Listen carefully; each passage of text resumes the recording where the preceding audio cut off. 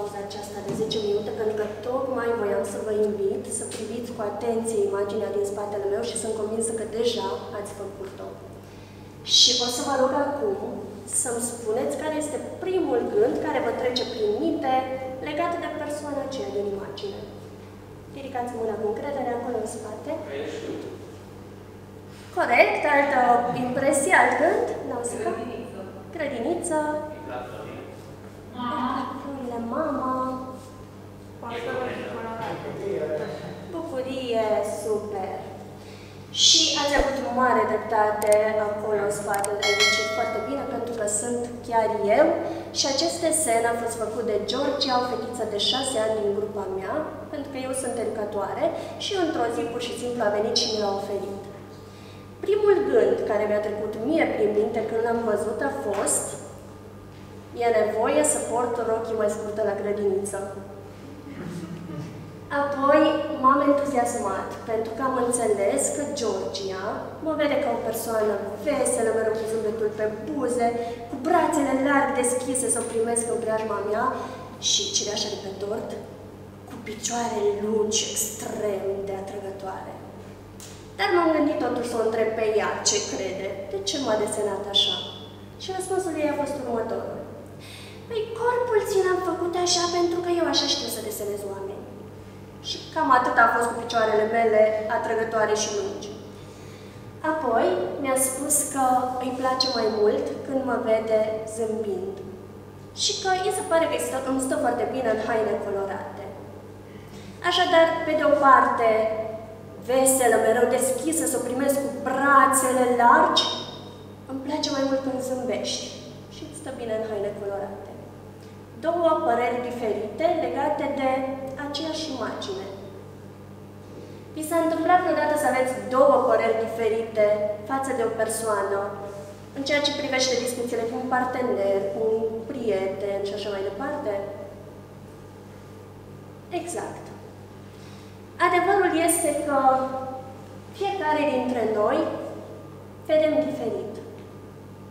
Și indiferent care va fi adevărul meu legat de persoana mea astăzi, e foarte posibil ca adevărul vostru să fie altul. Dar astăzi nu sunt aici doar să vă vorbesc despre mine și să vă ajut să mă cunoașteți mai bine, ci o să vă împărtășesc o metodă foarte eficientă pentru a vă cunoaște pe voi în primul rând și pentru a cunoaște și alte persoane mai bine. Și această metodă se numește fereastra Joe Harry. Este un instrument foarte eficient folosit în psihologia practică și a fost inventat cam prin anii 50 de doi psihologi, John Lust și Harrison Gingham. De aici și combinația numelui Joe Harry. Ce presupune această metodă? Ei bine, așa cum am spus, te ajută să te cunoști pe tine mai bine și să-i cunoști pe ceilalți din patru perspective diferite. Și după cum observați, avem patru cadrane raportate atât la conștient cât și la subconștient. Primul cadran, cel notat cu roșu pe imaginea din spatele meu, cel notat cu galben, se numește arena. Și aici intră toate lucrurile pe care atât eu le știu despre mine, cât și voi, cele care sunt vizibile. Apoi, cadranul verde este ceea ce este ascuns, fațada. Sunt lucrurile pe care doar eu le știu despre mine și pe care aleg dacă să le împărtășesc sau nu cu voi. Următorul cadran, notat cu roșu pe ecran, blind spot sau punctul nevăzut. Aici sunt lucrurile pe care voi le vedeți la mine și eu nu le conștientizez, nu-mi dau seama că există. Iar cel de-al patrulea, cadranul necunoscut, notat cu albastru, este acel cadran în care nici eu nu am conștientizat încă anumite lucruri despre mine și nici voi nu le știți. De obicei se află în subconștient. Și ca să înțelegeți mai bine, propun să facem un exercițiu practic. Arena publică. Dacă ar fi să ne gândim la lucrurile pe care atât eu cât și voi le știți, în primul rând ar fi faptul că sunt femeie. E vizibil, toată lumea poate să afirme acest lucru. Al doilea lucru este faptul că am părul șaten, ochi căprui și că le să stricat.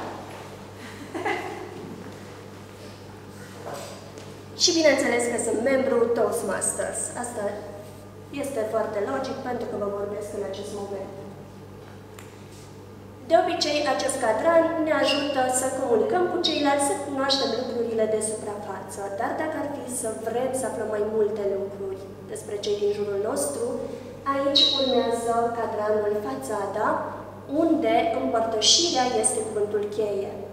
Și la fațadă sunt acele lucruri pe care nu ai vrea să le spui la prima întâlnire, pentru că s-ar putea să fie puțin cam greu de acceptat.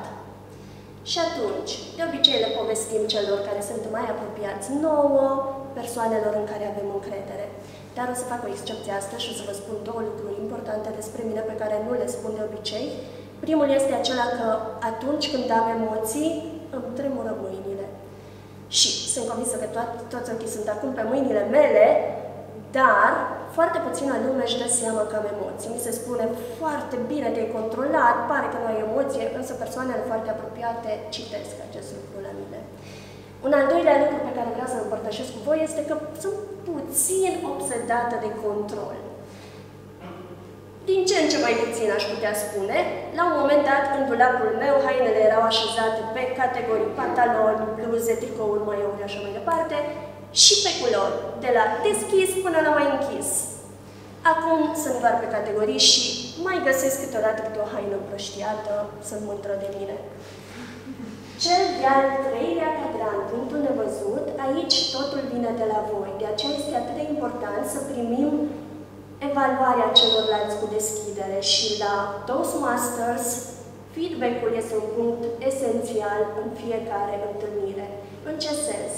Când am început să vorbesc în public, nu-mi dădeam seama că mă legănam de pe un picior pe altul. Deși eu vorbeam despre încredere și câte am descoperit la mine, gestul meu dovedea nesiguranță. În momentul în care evaluatorul meu de discurs a venit și mi-a spus, eu am observat că te cam mici de pe un picior pe altul, poate că ar fi bine să lucrez la asta, am conștientizat un lucru pe care eu nu l-am văzut, dar primindul de la el m-a ajutat să evoluez. De aceea e important să cerem evaluarea celorlalți, părerea celorlalți. Acesta este cuvântul cheie al acestui cadran. Iar ultimul cadran, cel necunoscut, are legătură cu abilitățile pe care noi încă nu le-am descoperit în noi. Și în urmă cu trei ani eram acea persoană care cu greu ar fi ieșit în public să vorbească. De ce? Pentru că atunci când eram mică, mi s-a spus că eu sunt timidă și am rămas cu ideea aceasta în cap. Așa că preferam să mă, ascult, să mă ascund într-un colțișor și să-i las pe alții să vorbească. Până când am răspuns unei provocări venită din partea unui prieten și am descoperit că pot să fac asta și mai mult am descoperit că îmi place și am descoperit că pot să evoluez și să cresc profesional datorită acestei abilități. De aceea vă încurajez să lucrați acolo la ultima categorie, pentru că cu siguranță veți descoperi în voi și în ceilalți abilități care merită lucrate. De ce sunt importante aceste patru cadrane? De ce metoda uh, Joe Harry?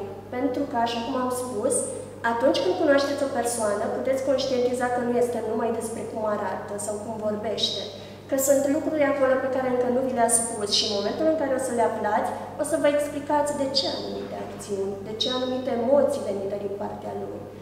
Și cireașa de pe tort, puteți să descoperiți în el abilități și să-l ajutați să le crească dacă sunteți mentor sau să le descoperiți în voi și vă dacă primiți cu drag, cu brațele deschise și lucrați cu persoasiune să creșteți. În încheiere, Vreau să vă spun că acesta a fost o parte mică din adevărul meu despre cine este Iulia și poate că adevărul vostru despre mine arată altfel în acest moment. Dar aș vrea să vă las cu următorul mesaj. Fiți ferestre larg descrise înspre voi înșivă și înspre ceilalți.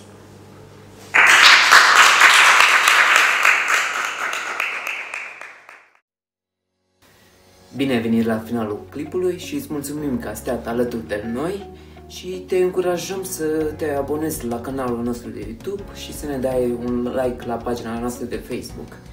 Ne vedem data viitoare!